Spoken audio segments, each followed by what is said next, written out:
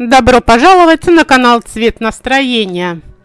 18 апреля этого года в элитной квартире дома на Университетском проспекте на западе Москвы были обнаружены тела бывшего вице-президента «Газпромбанка» Владислава Аваева и его жены Елены и 13-летней дочери Марии – Справедливости ради следует заметить, что пока идет следствие, правоохранительные органы рассматривают различные версии убийства семьи бывшего банкира.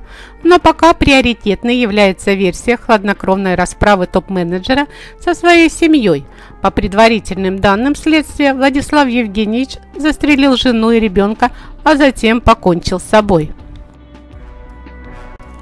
Предполагается, что 51-летний экс-банкир состоял в напряженных отношениях с супругой, узнав, что та ждет ребенка от недавно уволившегося личного водителя. Женщина находилась примерно на пятом месяце беременности. Кроме того, не так давно супруги судились из-за общей дочери, имеющей инвалидность. Но затем женщина по неизвестной причине отказалась от исковых претензий. Возможно, супруги смогли договориться.